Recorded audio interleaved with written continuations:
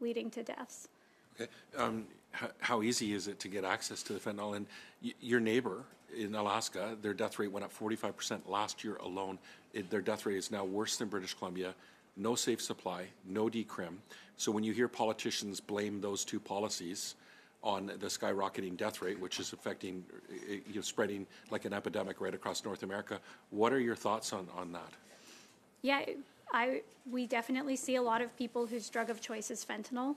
However, fentanyl is being used um, intentionally is highly stigmatized in the Yukon and across the country. I, yeah, I'm concerned when I hear those conversations. Fentanyl is available, people are purchasing it, they're bringing it to us to test and asking what concentration of fentanyl is in this. And we see a range from below 5% up to 90 to 100% fentanyl. That's like having a drink and not knowing if it's one drink or 20.